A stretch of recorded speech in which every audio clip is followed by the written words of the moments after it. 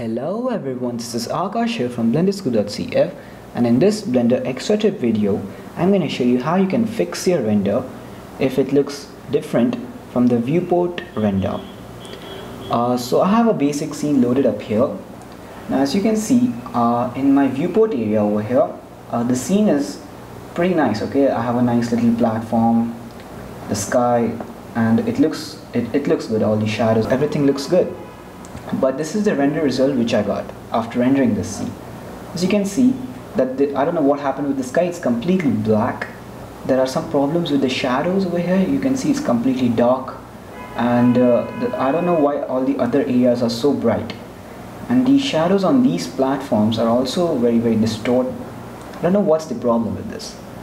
So if this problem occurs uh, for you too you can just see this video and uh, you'll find the solution for this uh, so I'm going to show you how you can fix your render uh, if it looks different from the viewport render.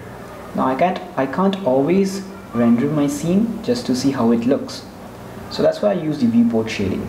But when I render, see it's, it's a bit different from the viewport. So uh, there are a few ways you can uh, just fix this, but there are many. I'm just going to tell you about three of them. Uh, so let's get into it. So I'm going to start by bringing up my properties panel which is over here. Okay. So as you can see first thing is this shadow. Now first open up your outliner and then just see if you have some object which is hidden. So in this scene I have all the objects which I want. But in the outliner you can see all the other, other objects also which are hidden. So in this one I can see one plane object over here which is hidden. Uh, you uh, you can see if it is hidden. Uh, if this uh, eye thing is grayed out it is eye icon is grayed out. And if you select this plane you can't see it in the viewport. That means this plane exists but it's not going to be seen to us. Okay it's, it's not seen in the viewport. But uh, if we just uh, unhide it by clicking on this button you can see there's a plane over here. I don't know why did I even keep it here. I wanted to delete it but I I didn't delete it. I just uh, I just uh, stopped it uh, I just uh, hide it from the viewport. But if you hide it from the viewport it's still gonna render this object. It's gonna uh, come in the rendering in the render. So to avoid that you can either click on this render icon just to hide it from the render also or you can just delete this object if you don't even want it so I don't even want to uh, keep this object in my scene. So I'm just going to delete it by pressing X and then delete. So this is one way if you have many objects which are hidden but still they are appearing on your uh, render so you can do this method to uh, just uh, get rid of them. Well, the second thing.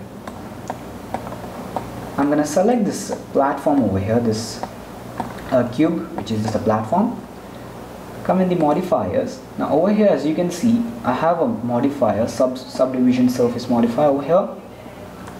Now over here as you can see it's uh, it's um, you can see this in the viewport. Again you have this eye icon uh, on the gray background on this dark gray background which means that you can see this uh, modifier applied to the object in the viewport.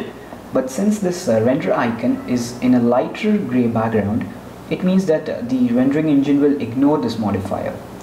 So I want to include this modifier. So I'm gonna click on this render icon so that it also has a dark gray background. Also over here in the subdivisions you'll find this view which is the viewport subdivisions to be 2 so if I increase this view to be 3 it's gonna change the number of subdivisions of my object in the viewport. So it's gonna have 3 subdivisions. But when my uh, when I do uh, when I when I render the scene it's gonna use only one subdivision because the render is one. So I want both of them to be same. So since I had to I'm gonna change the render also to be 2 so now my uh, now the rendering engine will include this modifier in the rendering process and it's gonna in, uh, make it 2 so the view and the render subdivisions are same. So I'm gonna get completely same subdivisions uh, as I can see over here uh, in the viewport and in the rendering so that's the other thing. If you have many modifiers and some are hidden from the rendering while some are having this view render problem over here. So this is one way you can uh, fix uh, this. Now the third problem. So if you come in the render layers uh, this uh, you can see if you have some multiple render layers uh, you, uh, you can see all the render layers over here. So I have some two render layers. One is main one is sky. The main is the one which has the uh, all the uh, all the objects basically the sky is only a plane which is in the second layer. It, it's just a plane with the sky text uh, sky background. Uh, so the main is gonna render only the first layer.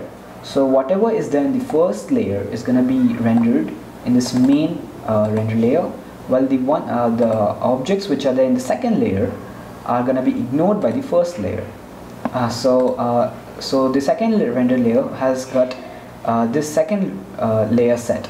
So the second render layer the sky render layer is going to only render this sky. It's just going to ignore all the other objects.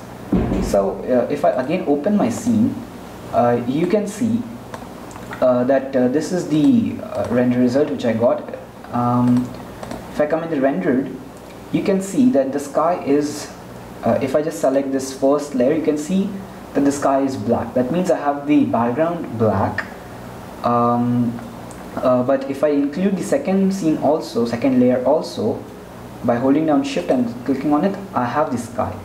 So what I want is to include both the layers in my render. So one way you can do it is by selecting one of the render layers and then holding down shift select the other render layer you want to render or you can just select all of them by holding down shift and just uh, dragging your mouse on top of all these layers. So it's going to render all the layers. And I don't want to render the sky layer now so I'm gonna uncheck it. So I don't want to render it.